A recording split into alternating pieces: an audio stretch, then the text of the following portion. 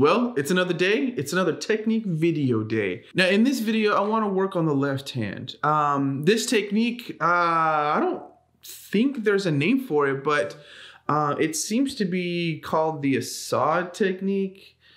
Sergio Assad, one of the brothers thought of it, came up with it. I don't know. Um, I saw it in uh, Scott Tennant's uh, Pumping Nylon book, probably uh, the, probably one of the best technique books you can buy. I'll put a link down below in case you want to check it out. So this technique is designed for finger independence. Start very, very slow. Um, make sure that your muscles get really used to the movements uh, of this technique because it is pretty difficult. And if you speed up too fast, you're not really gonna take any of the benefits. To start off, I would probably use the first string and the third string. You're gonna wanna start the fourth finger on the first string and the first finger on the third string, and then the third finger on the first string, and the fourth finger is gonna go on the third string, and then the second finger is gonna go on the first string, and the third finger is gonna go on the third string, first finger on the first string, and then second finger on the third string, and then it repeats. that was really hard to say. So the key to this technique is to not lift your fingers until they have to be moved. So if your fourth finger is gonna be playing on the first string, keep it there until the third finger has to be used. And that will help you keep the exercise legato. Most people, what they do is that they play and they lift their finger off and it kind of really defeats the purpose of the exercise. Hold the finger on the note to create the passage as legato as possible.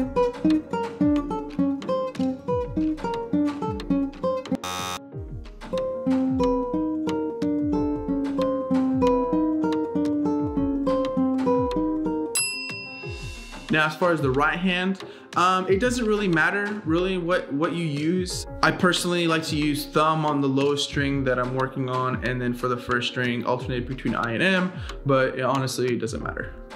Once you get really comfortable with it, you can definitely move on to the first string and fourth string, first string, fifth string, and first string, sixth string. Now that one is really hard. If you find that this, this exercise is too difficult on the fifth position, you can definitely work on this exercise in the seventh position or ninth position to make it easier because the distance of the frets are closer together.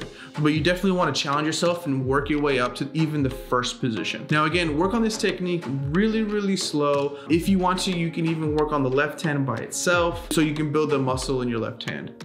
And once you get comfortable with this exercise, start using really quick movements in your left hand to kind of simulate preparation. Something that I talked about in the tremolo uh, video. Uh, if you haven't seen that, I'll put a link somewhere up here. Well, that's it for me. If you record yourself using this technique, give me a tag and I'll check it out. And also, if you like this video, give it a thumbs up, subscribe, and, and, see you later. Peace.